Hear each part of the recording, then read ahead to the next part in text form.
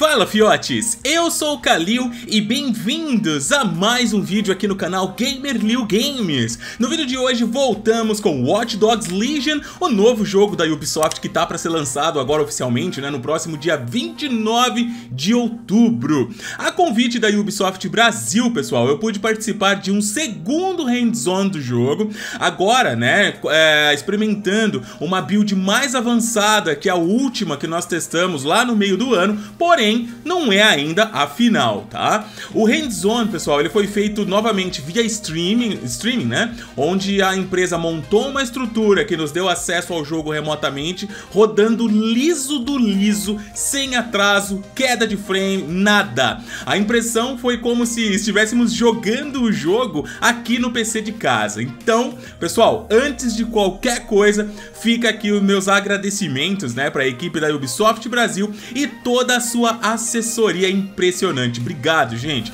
Rodamos o game, pessoal, em uma versão de PC com RTX ativo, tudo no full e a experiência foi incrível. Eu tô fazendo esse vídeo nem tanto para dar minhas primeiras considerações, porque isso eu já fiz lá no vídeo do primeiro hands-on, mas sim para comentar sobre o que eu notei de diferença e se os pontos negativos que eu citei lá mudaram em alguma coisa, né? Por esse motivo, ó, já vou avisando, é imprescindível que você veja este vídeo primeiro, tá passando aqui no cardzinho, tá? Onde eu te situo, né, sobre o jogo, é, sobre o que tá acontecendo ali, sobre as mecânicas, tudo bonitinho, pra depois você vir pra cá, beleza? Não é obrigatório, mas pra te privar, né, de pegar só informações jogadas aleatoriamente, é importante a gente ficar na mesma página, então vai lá, olha e depois você volta. Bom, a primeira coisa que eu pude notar aqui nessa nova build foi a melhoria gráfica, pessoal. É, de verdade. O jogo ele já estava muito bonito, né, na primeira vez que eu testei lá no meio do ano, mas eu consegui sentir ainda assim um tapa mais bem dado nessa versão que eu joguei, com um Ray Tracing, né, ainda mais vivo, gritante, tá ligado? Mais perceptível que da última vez e detalhes que chamam muito a atenção de nego chato que nem eu, que fica prestando atenção em tudo, olhando, olhando olhando, olhando, né? Coisas como, por exemplo, aí uma adição sonora, a derrapagem, que me fez várias, várias vezes ficar virando o volante de forma abrupta, né? Só pra ouvir aquele... tá ligado? Olha aí. Control, we are preparing to ram suspect. Detalhes como ver o personagem todo molhado, inclusive os cabelos, né? Quando tá chovendo, meu, isso é demais. Detalhes que, tipo, às vezes pode ser uma bobeira, né? Mas pra mim tem muito valor. Aliás, quando chove, você... Cara, você vê, né, de verdade, o poder gráfico do jogo em ação. O jogo praticamente muda, pessoal. É um show visual de detalhes, desde as marcas, né, de pneus, quando você derrapa. E elas ficam ali, viu?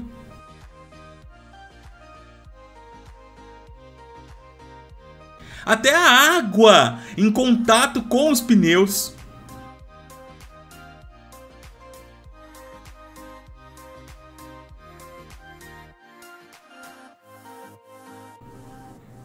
Cara, olha isso. Detalhes bobos. Só se for pra você, meu, porque como eu falei, eu sou muito chato e essas pequenas coisas mudam completamente a experiência do jogo pra mim. Deixam, né, o mundo mais vivo e mais imersivo também. Tamanha mudança é, na chuva, que até o seu carro se torna mais difícil de conduzir, pessoal. Ele derrapa sim pra todo lado quando tá chovendo, mediante a velocidade que você pegar. Sabe aquela mecânica, né, que a gente tem em jogos de corrida aqui na chuva, fica mais difícil, fica mais derrapante e tal. Eu pude sentir isso em Watch Dogs Legion quando você está conduzindo o seu carro em alta velocidade na chuva. E já que a gente tá falando de carros, né? Eu já comentei a, ah, aqui com vocês no primeiro vídeo de Hands-On, mas vale a pena reforçar aqui. Os carros em Watch Dogs Legion, eles estão uma delícia de dirigir, né? Eles não estão, né? Não são terríveis como eram no primeiro jogo da franquia. Podemos dizer que é uma versão da dirigibilidade do segundo jogo aprimorada. Ele é muito responsivo e eu me perdi, né? Eu perdi o controle várias vezes, facinho, facinho, logo logo no início, quando eu comecei a minha sessão, mas depois ali de alguns minutos eu fui pegando o jeito tal, a manha, e aí vai embora, né? Mas é muito responsivo sim. É, diferente de jogo, dos jogos anteriores, né, onde parar um carro e roubá-los nem sempre era uma boa pedida, porque a pessoa que você roubava, ela acionava a polícia. É, aqui em Watch Dogs Legion, embora ainda existam sim condutores, esse risco, pessoal, é menor, porque você vai se deparar com tipo, muitos carros autônomos, carros que não tem condutor nenhum. E isso facilita, claro, o roubo, né? Você pode ir lá chegar, o carro tá andando, você entra na frente, para, entra, vai embora e já era. Eu, como, como eu tava certo, né, de que a maioria era assim, né, do que eu lembrava no meu primeiro hands-on, a primeira coisa que eu fui fazer quando começou a minha sessão foi roubar um carro, mas tipo, ferrou, velho. Era polícia, bicho, era polícia. Mano do céu, como eu corri. A polícia aqui, pessoal, ou melhor, os agentes da Albion, eu falei deles, né, no vídeo anterior, se você viu, você tá ligado. São de longe a pior polícia da franquia. Galera, eles me deram uma canseira de 10 minutos pra mais aí quando eu fiz essa cagada de, de roubar o carro deles, né? A galera lá dentro. Pô, meu, deu muito ruim. Eles são muito mais persistentes que os policiais dos dois jogos anteriores e pela tecnologia existente no período né, em que o jogo se passa, eles possuem ferramentas para te infernizar ainda mais. Drones, por exemplo. Então, por isso, eu repito, cuidado e não saiam roubando roubando carros com o nome Albion, igual o paspalho do Liu aqui acabou fazendo, tá? Nessa build tivemos acesso a um mapa enorme e muitas missões de história, missões secundárias e desafios do mapa também. Eu confesso pra vocês que dessa vez, dessa vez, eu fiz quase nada do que tinha disponível. Sem, cara, eu nem saí recrutando, sério. Isso, galera, porque a história, ela me prendeu de uma certa forma que eu só queria fazer as missões principais pra entender o que ia acontecer no final, pra avançar tal, porque tá muito legal. Já fica um adendo aí sobre o próximo vídeo que vai entrar aqui no ar, né, a respeito desse jogo. O clima do game e o enredo foram muito bem construídos, pessoal. Eu avalio, né, isso pelo quanto a história de um jogo me prende, tá ligado? Sério, eu passei as 4 horas de gameplay atrás das missões principais e fiz talvez uma coisinha besta aqui ali e tal pra dizer que não fiz, saca? O negócio me prendeu e eu já posso afirmar que os amantes do primeiro jogo da franquia vão se reencontrar aqui pelo cuidado que eu notei existir no enredo de Watch Dogs Legion. Isso provou para mim até mesmo uma outra coisa também o quanto você pode se apegar aos personagens que você possui ou recruta, né? Consequentemente, provando o que eu já tinha falado para vocês em vídeos anteriores. Legion consegue te mostrar que um protagonista fixo nem sempre é obrigatório num jogo. Pois é, nessa build nós começamos com três personagens diferentes, tá? Eu passei as quatro horas com eles. Eu me apeguei, simples assim. Tentei até recrutar uma veinha lá pra experimentar, né? A gente viu no trailer, falou, caramba, quero... Quando eu vi uma veinha lá, eu falei, não, quero tentar. Mas quando eu vi que ia demorar muito pra fazer as missões dela tal, eu caí fora porque eu queria saber mais sobre a história. Poderia ter perdido esses três? Sim, mas isso, pessoal, vai depender do modo que você pretende jogar Legion, tá? Recentemente, a Ubisoft ela revelou e pudemos provar isso na pele, como é jogar com o modo morte permanente desativado. De início, quando o jogo ele foi divulgado, né, todos acreditávamos que se o boneco morresse, já era, acabou, mas não. Você pode desabilitar isso e o seu boneco acaba sendo aí levado ao hospital, é, preso e e assim por diante ao invés de morrer para sempre. Ele fica indisponível para você por um tempo determinado ali e tal, mas depois ele volta e você consegue jogar com ele outra vez. Porém, se você perder todos os bonecos recrutados, tipo, se todos eles forem presos, hospitalizados, etc, é game over, pessoal. É game over. Acabou. Eu mesmo, tá? Como eu comentei aqui com vocês, eu não recrutei, então eu joguei, né, o tempo todo com esses três, é, e quando eu me deparei, pessoal, com uma missão terrível e que me fez perder dois dos três que eu tinha, caras, sério, foi o maior cagaço da vida, porque eu tinha feito muita coisa, eu já tava muito avançado, e se eu perdesse o terceiro boneco, já era! Já era!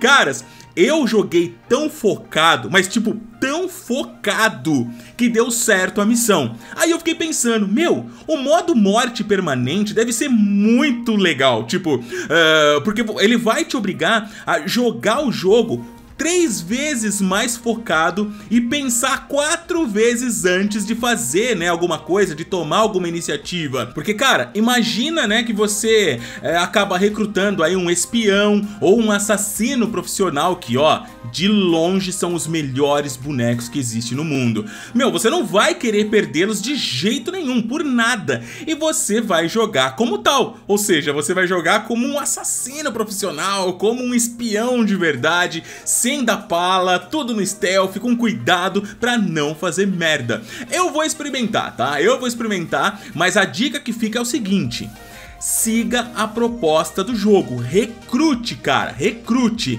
Nem que seja para ter alguém lá de reserva quando um boneco preferido morrer ou ser hospitalizado, né? Se não, eu repito, é game over e não tenho que chorar, tá? Galera, combate. O combate foi uma coisa que pra mim ficou bem negativo lá no primeiro hands-on e que agora eu já tô com um outro olhar pra ele. Vocês se lembram que eu comentei que o combate, né, da, pelo menos da versão que eu tinha testado lá no meio do ano, não tinha aquela pegada gostosa, não tinha impacto, não parecia que você tava batendo em nada tal. Meu, agora tá diferente. E você sente isso nitidamente se você pega alguém que é experiente em combate, tá? Mano, quando você pega alguém ali na trocação, na finalização tal, na trocação mesmo em si, pá, cara, é muito legal. Você ouve os golpes agora muito mais, né? Cada ação que você faz tem um som.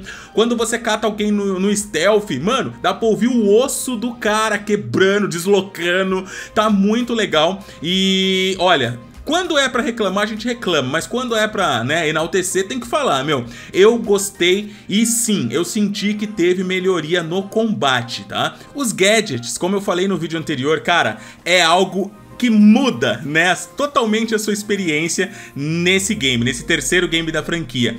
Galera, existem muitos, muitos mesmo, e você pode comprá-los com pontos, pontos de hacks, né, de hacks tal, que você consegue perdidos no mapa. Então quando você estiver jogando, preste muita atenção nos quadradinhos verdes que vão aparecer. Geralmente eles vão estar escondidos num lugar ou outro, basta você ir atrás, pegar e depois dentro da loja do jogo você comprar ou pedir para fazer na impressora 3D que existe lá na DeadSec, né? No seu, no seu QG, vamos assim dizer, tá? De todos eles que eu testei, galera, na moral, a aranha, né, o Spider, é a melhor de todas, cara. O bagulho é muito louco, o bagulho é muito louco. Entra em lugares específicos para coletar coisas únicas também no mapa e é muito importante até mesmo para concluir missões de história. Caso você tenha um boneco que, por exemplo, ah, esse boneco aqui ele não tem...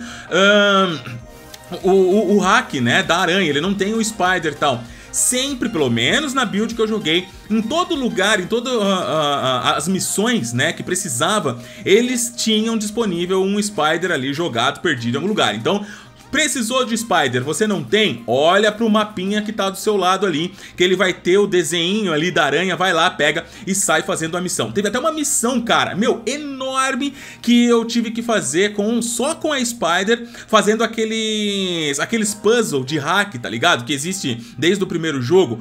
Galera, depois eu vou trazer um vídeo só desse hack pra vocês verem o tanto que eu apanhei, mas o negócio é muito legal. E pra alegrar completamente o meu gameplay, galera, algo que não tinha, né, no, no primeiro hands-on que eu fiz, naquela build, e aqui sim, o modo foto, Ubisoft, muito obrigado. Galera, o jogo tem um modo foto muito bacana, com bastante recurso também. E pra galera que curte, né, tirar foto em Assassin's Creed Origins e Odyssey, que na minha opinião são os modos foto mais bacana que existe, pelo menos o mais prático tal, com recursos bem interessantes, aqui tá muito parecido, tá? Eles usaram praticamente os mesmos comandos tal, adicionando uma coisinha ou outra. Galera, é muito divertido, tirei altas fotos é uma pena, né, que nessa build as fotos não ficaram gravadas tal, mas deu pra me divertir bastante. Eu tenho certeza que eu vou passar muito do meu tempo dentro do jogo clicando pra baixo e pra cima. Já esperem isso nas lives, quem é de casa já me conhece, né? Então sim, tem modo foto no jogo e um bem caprichado por sinal. Pessoal, é, eu vou dividindo, né, em vários vídeos para não ficar maçante, mas eu quero dizer para vocês que por esses dias muitos vídeos de Watch Dogs Legion eu vou soltar para cá contando e mostrando para vocês pontos específicos das missões que eu fiz. Inclusive o próximo eu tenho certeza absoluta que você vai querer ver, porque nele eu vou, acredito eu, né, que vou tirar a dúvida que todo mundo tem do Legion. Quer saber qual é? Fica de olho eu tenho certeza que na hora que você ver, você vai falar, caramba, eu queria saber isso. Então, então fica ligeiro, beleza? Galera, é isso, eu vou ficando por aqui, o vídeo é bem rapidinho, isso porque eu vou segmentar em vários, tá? Mas tem enxurrada chegando por aí. Não se esqueçam de me seguir nas redes sociais, principalmente lá no Twitter, onde eu sou mais ativo. A galera do Telegram tá te esperando e os links estão todos na descrição, tá? Pra ajudar o nosso canal, vai lá e dá uma espiadinha nos dois vídeos que eu vou deixar aqui na sugestão dos cardzinhos finais, tá bom? Mais uma vez fica aqui o meu eterno agradecimento à Ubisoft Brasil e à assessoria por terem me presenteado mais uma vez com essa baita oportunidade. Obrigado, gente. Um forte abraço, tudo de bom, fiquem com Deus, até o próximo vídeo. Valeu!